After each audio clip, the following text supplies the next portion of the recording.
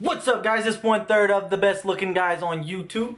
Actually sexy, I don't mean best because we are sexy, light skin face.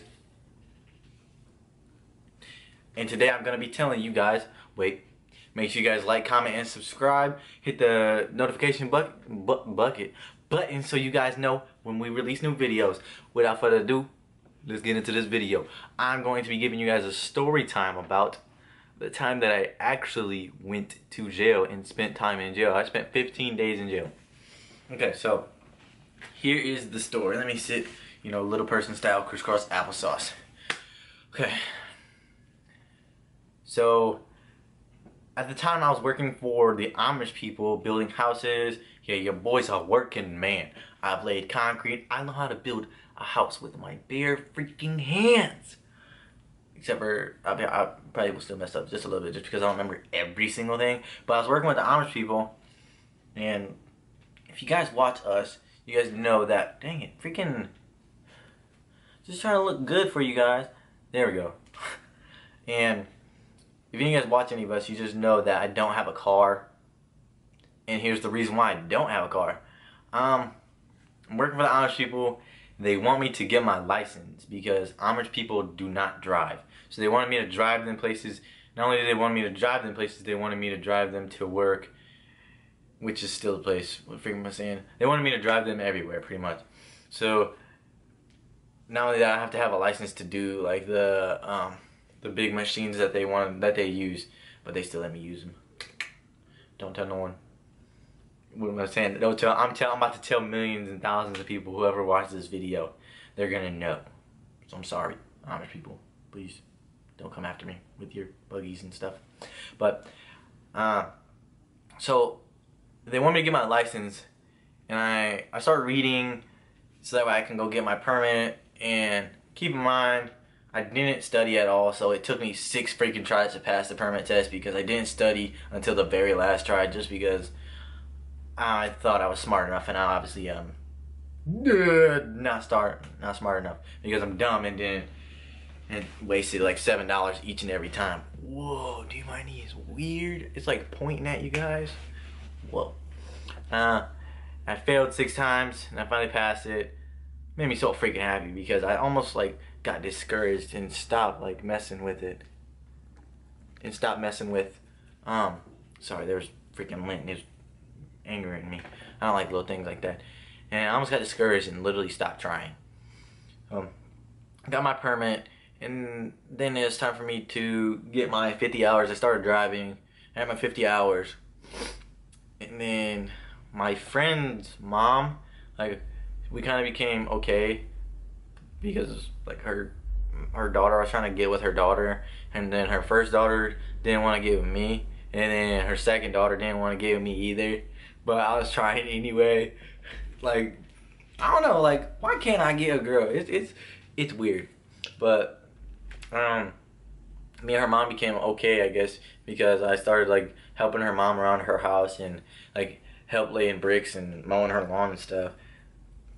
And mostly just because like I wanted to try to get with her daughter, but it was also cool to like have a because my mom lives in Ohio, so it was it was cool to be able to like go spend time with them as a family, and uh, she let me start using her car, and um we drove up to the BM, the DMV or BMV.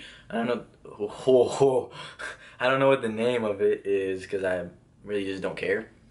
And I get there. I'm, I'm feeling real confident. It's like eight o'clock, nine o'clock in the morning, by the way. So it sucked to be up this late or this early anyway. So I get there and I start driving. Uh, the guy gets in. He's he's a real jerk to me in the beginning too because he was like hit the brake light. I was like I'm hitting the brake light, dude. He he just freaking wouldn't pay attention. And I was hitting the brake light, and he just he was he was angering me. So it didn't start off too good, but then we started driving, and me and him started talking a little bit more, and we became cool, ish, like as cool as you can with the freaking driver. Like I had him laughing. He almost let me put the music on. He he almost let me put the music on. I was trying to be cool, and but we get to this light, and it's a green light on the left turn, and not a green arrow, and I'm still a little bit of a rookie driver. So I try to get out there and make myself look like oh, like I know what I'm doing. So I get up there, I pull halfway in. I'm like, yo, this seems right. And then uh, I see a break in the traffic, but the the left turn has a hill that kind of like like goes down, so I can't really see like a car coming. So I see the break and I start to turn in, and boom!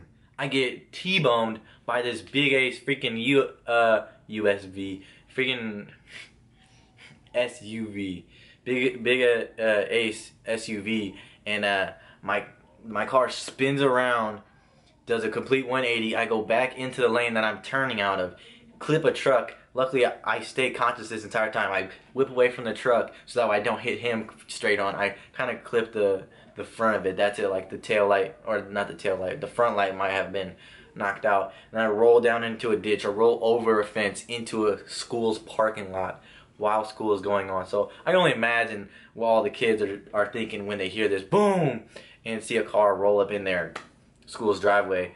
The car was totaled and the guy that was my driver ed teacher, he's like he he wasn't even shook. He was just like, It's okay.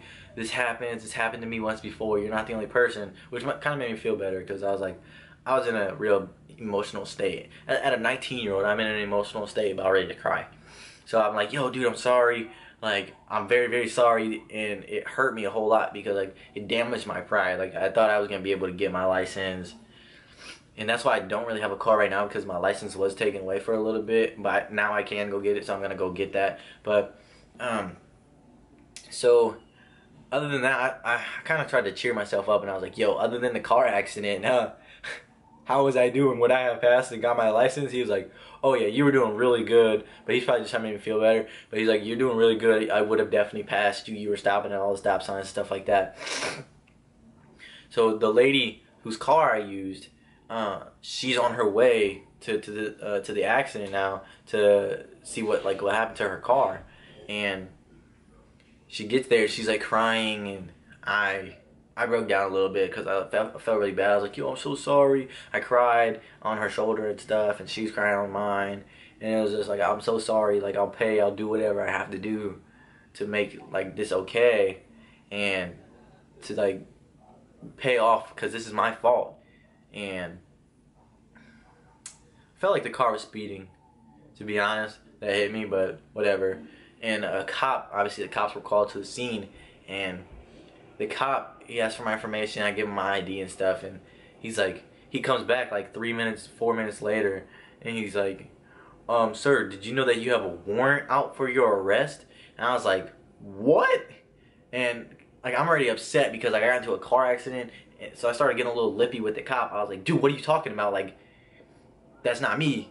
And like he showed me, and I was just like, for what? He was like, uh, you didn't go to community service for the time when you uh, when you um, were caught stealing. Because I had already paid off all the fines and stuff because I was about to join the National Guard.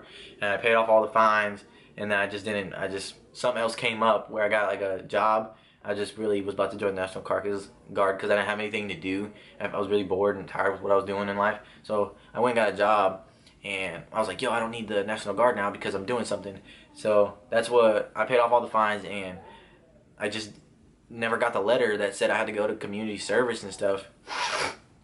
So I never went to community service, and I guess I had like three hundred dollars I had to do, and he put me in handcuffs, and I spent uh, oh, four or five nights in jail before I even saw the um the judge.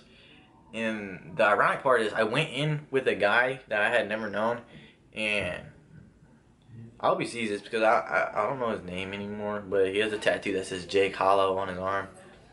And but we went in the same day. We got booked together. We were in the same cell and everything. And we got sentenced the exact same day. We both got 15 to 30, so we got 15 days instead of 30 days. And it was actually I, I don't want to say jail was fun, but it definitely wasn't like as worse as what as bad as what like I thought it was gonna be. I'm not saying go out and do things, but it wasn't as bad as what I thought it was because to me I was like, yo, I have no worries. I get fed every single day. I can shower. I can go do whatever I want as long as I'm good. They had a TV. I was watching TV every single day. I met some pretty cool guys, and uh, they they knew that I was into God, so they let me pray with them sometimes. and learn how to play cards, spades. I'm, I'm actually decent at spades now because jail. I'm pretty good at chess. Played chess almost every single day.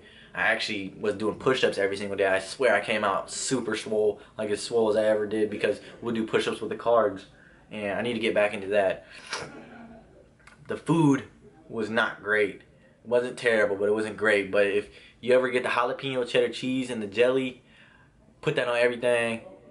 It makes everything good. And then I got out and here I am today, like two years later, a year later. But that's a story on how I went to jail and spent 15 days in jail because of a freaking warrant and I got into a car accident. It sucks, right? Terrible, unfortunate event. Like I was getting my license, I was getting everything together, and then boom, I get put in jail, and now my entire life is changed. Excuse me. Well, that's how I that's how I went to jail, and I'm, I'm sorry, I burp a lot in my videos. I don't even know what it is, but if you guys want to see more story times, let me know what you guys want to see. Ask me a question, and I will make a story time about it because I have a lot of stories. I have done a lot of things. I'm a very crazy person. I've done a lot of things. If you guys want to hear some more story times, let me know. Ask me some questions. Make sure you guys like, comment, and subscribe. Leave your comments down below.